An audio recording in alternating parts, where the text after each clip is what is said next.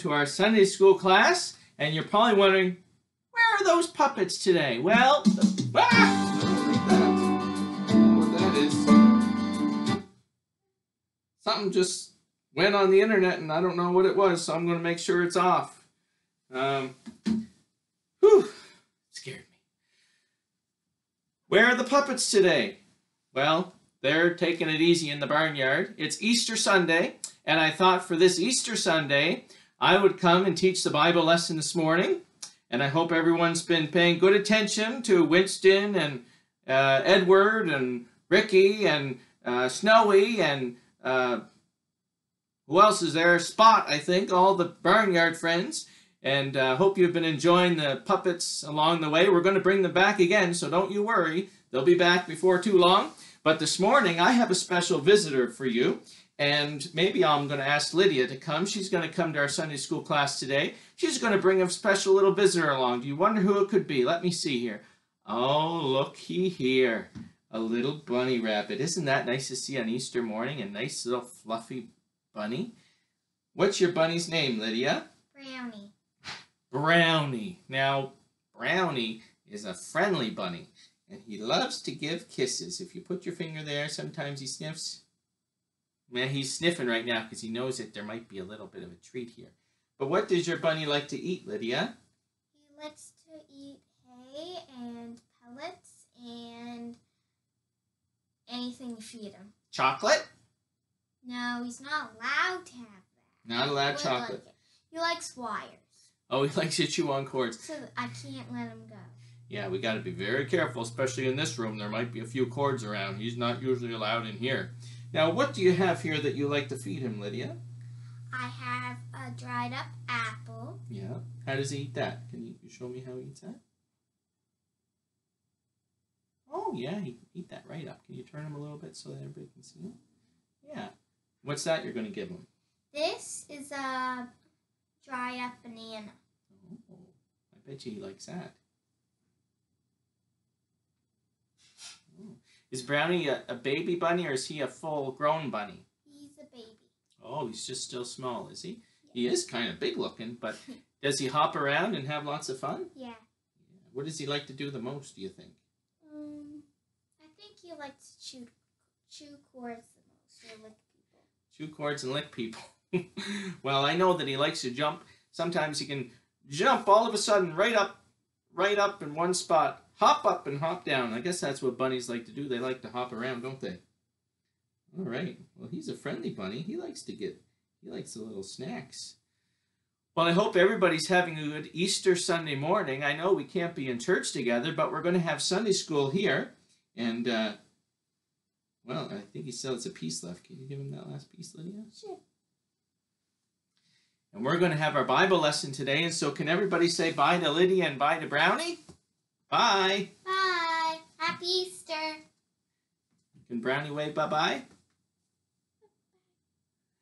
bye bye, Brownie. Happy Easter. yeah. Well, I'm so glad that you're here for our Sunday school class today. And I'm going to be reading from the Bible and showing some of our picture visuals to be able to help our lesson. What do you think we're going to be talking about this morning? Yeah, the message of Easter. And what happened on Easter Sunday many years ago? Jesus rose from the dead. That's right. And I'm going to read in verse in Luke chapter 24. It says, Now upon the first day of the week, very early in the morning, they came to the sepulchre. That's a word which means the tomb. That was where Jesus' body was laid. Bringing the spices which they had prepared and certain others with them. And they found the stone rolled away from the sepulchre. Remember, we talked about the big stone that was on the door of the tomb. And they entered in and found not the body of the Lord Jesus. And it came to pass, as they were much perplexed thereabout, behold, two men stood by them in shining garments. And they were afraid, and bowed down their faces to the earth. And they said unto them, Why seek ye the living among the dead? He is not here, but is risen. And remember how he spake unto you when he was yet in Galilee, saying, The Son of Man must be delivered into the hands of sinful men, and be crucified, and, and the third day rise again. And they remembered his words, and returned from the tomb or the sepulchre, and told all these things unto the eleven, and to all the rest. And so we're learning about those that came to the tomb that morning, and they they didn't come across the body of Jesus because he had already risen from the dead. They were going to meet him later that day. And so let's bow together and we'll ask the Lord to bless our little lesson this morning. Father, we thank you for our Sunday school class and for each boy and girl that's out today. We pray, Lord, that you would bless your word and thank you that Jesus is risen from the dead and help us to rejoice in that today. In Jesus' name we pray. Amen. All right, well, I'm going to remind us of a picture that we looked at last time. And this was the picture of the, does anybody remember what this is? Yes, that's right, the cross. That's where the Lord Jesus went and he, he died on the cross for our sins. And remember what he needed, what we needed to be able to take away our sins? That's right, his blood. So he shed his blood on the cross so that we might have our sins forgiven when we invite Jesus into our hearts. And so Jesus died. It says he bowed his head and he cried, It is finished. And they took him off the cross and they laid him into a tomb, and the Bible calls it a sepulchre. It's just kind of a really big word, and it's not like the kind of graves that we think of today, but in those days, and in some places today still, they would they would have a tomb or a rock where the rock would be kind of like if we go outside and dig a snow tunnel, only they would dig a tunnel into the rock. And they would make a place for a body to lay, and then they would put a big door over the opening to get in. And that's what the sepulchre or the tombs were like in the days of Jesus. And so uh, we're going to learn about those that came. Now, it was the first day of the week, and they were coming to the tomb to put some spices on the body of Jesus to anoint his body. And so, as the sun was rising, several women who had been uh, Jesus' friends went to the tomb. And the women wanted to put sweet smelling perfumes and spices on his body, for they loved the Lord Jesus very much. They walked along and as they did that, the women wondered how they could roll the big stone away from the door to the tomb, for they could so that they could get inside. And they knew the stone was very big and it would be too heavy for them to move. And so this is what they were thinking as they were walking to the tomb that morning, very early in the morning. They were wondering how are they going to get the door open to the tomb because a great big stone was rolled against the door. And so they, they knew that they probably couldn't, with the, all three of them together, they probably weren't going to be able to roll it back up and open. And we find how much they love the Lord Jesus. You see that they're all carrying various things here and spices that they're going to put on the body of Jesus. And these would have been very expensive to buy in those days. And so they love the Lord Jesus and they're going to come and they're going to give him a proper burial. But they're going to find something amazing when they get to the tomb. And so they finally come into the garden where the tomb was, and they're really shocked. And as we read in our passage, they're shocked, uh, and it says that as they arrived at the tomb, they find a very strange sight. What do you think the strange sight is? I think I see two things that are not quite what they were expecting. Yeah, one is the door. What's the other one? The angel that's sitting on the door. That's right. One of the ladies, uh, Mary Magdalene, saw that the stone was rolled away and the tomb was open. She did not know an angel had rolled the stone away. Quickly, Mary Magdalene left and went to tell the disciples that the stone was rolled away. The other ladies came closer and saw a wondering sight an angel and the angel told them, Be not afraid. I know you're looking for Jesus. He is not here. He is risen. That's right, just as he said. And then the angel said, Come see the place where the Lord lay. and he pointed them to come into the tomb to, to see where Jesus' body had been laid inside of the tomb, but he wasn't there anymore. He rose from the dead, he was alive. And the women looked inside the tomb, the body of Jesus was gone. And suddenly they saw two angels as bright as lightning. The angel said, He is not here, he is risen from the dead. Go tell his disciples that he's alive. And so their message, the angel's message to the women, was to go and share the message to others that Jesus is risen. That's right, that Jesus is alive. You know that's the message that we can bring and share to others today? That Jesus is alive, and that's why we have Easter every year. And we remember that this is the time that Jesus rose from the dead on the third day, that he's alive, that he came back to life, and that when we know him as our Savior, he's going to bring us one day to heaven with him. And and our bodies will be changed to be like his wonderful body, which never gets sick and never experience any pain and will never die. And we look forward to that new body that we're going to get someday. Well, quickly the women run and they tell the disciples what they had seen and heard. Do you think it's a good thing that they ran to tell the disciples what they heard and what they seen, or maybe they should have just stayed and not done anything about it? Yeah, it was a good thing, wasn't it? to be able to tell others the good news.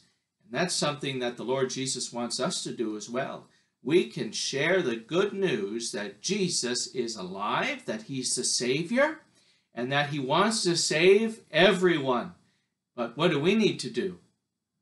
We need to believe on the Lord Jesus Christ. We need to believe that he went to the cross for our sins, that he died in our place, that he was buried, and that he rose again on the third day, and he's alive. And we believe upon him and we receive eternal life. And that is a wonderful. That's salvation, and that's for anyone who believes. It can be a boy or a girl or a man or a woman or a grandma or a grandpa. It doesn't matter what age we are. We can believe on the Lord Jesus as he speaks to us in our hearts. And so quickly the women go and they bring word that Jesus is not there. He is risen, as he said. Now, there were some other disciples who were um, coming to the tomb, and Peter and John are two men, and we find them running here, two of Jesus' special friends and his disciples.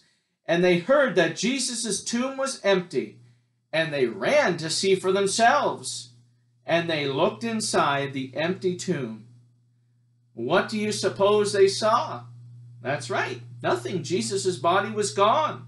The empty grave clothes were there, and the napkin that had been wrapped around Jesus' head was in a place there too. So when Jesus was placed into the tomb, they had placed a lots different cloths around him, and they, they wrapped him up. All those cloths were right there where the body of Jesus would have laid.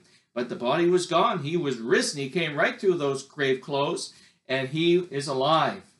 The empty grave clothes were there, and the napkin was there, uh, but the body of Jesus was gone. And so, do you think that they were excited that Jesus was risen? Absolutely. And Jesus later meets them that day, and they fall down and they worship him. And the, and the rejoicing goes on and on that Jesus is risen from the dead. You know that Jesus stayed on the earth a little while longer after his resurrection before he went into heaven. And there were many people that saw him during that time. The Bible says that he was seen of over 500 people at one time. So there were many witnesses to be able to see, yes, Jesus is alive. He rose from the dead.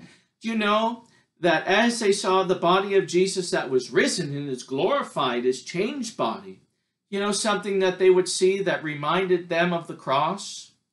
They still saw in the body of Jesus the nails, in the nail prints, the little marks that would be in his hands and his feet, and the side where he was pierced. And those marks are visible reminders. Those marks are things that even we'll see in heaven, which will remind us that Jesus loved us and he took the nail prints in his hands and his feet, and he has those as constant reminders that he died for our sins and that we can be thankful that he is our Savior and we'll give him praise forever and ever because of what he's done for us. And so this Easter Sunday, we can think about something that we can be really thankful for. Yes, we can be thankful for family. We can be thankful for all the nice little goodies and the treats that we get this time of year. But what is this day very much about and all about? It's about the Lord Jesus.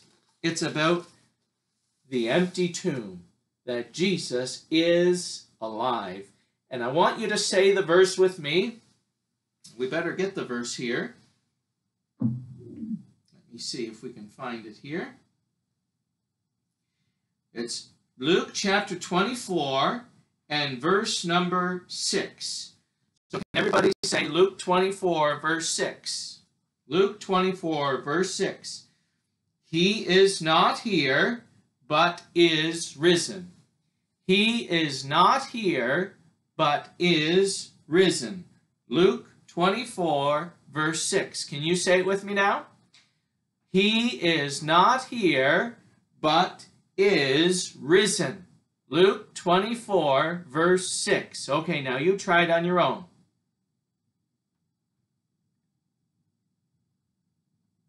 Good. Okay, so Luke 24, verse 6, we remember he is not here. What is he referring to?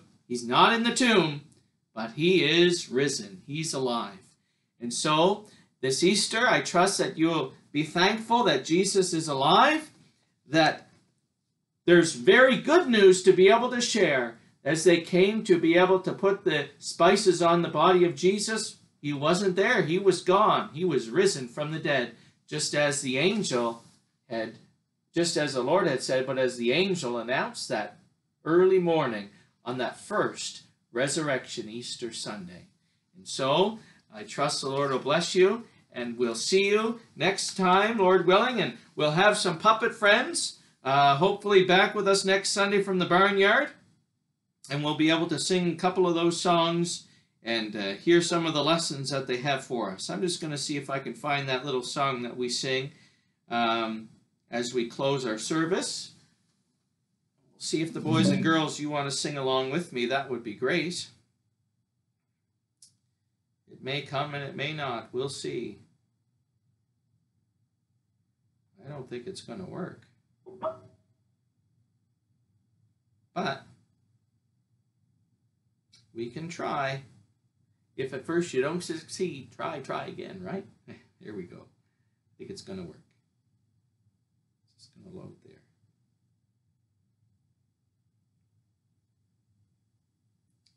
Well, I don't think it's going to work. I thought it was going to work, but I don't think it's going to work. So let's just sing it together. Wide, wide as the ocean, okay? You should know it by now. Wide, wide as the ocean, high as the heavens above, deep, deep as the deepest sea, is my Saviour's love. I, though so unworthy, still am a child of his care. For his word teaches me that his love reaches me everywhere. Wide, wide as the ocean, high as the heavens above, deep, deep as the deepest sea, is my Saviour's love. I, though so unworthy, still am a child of his care. For his word teaches me that his love reaches me everywhere. Oh, that was very good singing, boys and girls. So we'll see you next week, Lord willing. Have a wonderful Easter Sunday. Bye bye.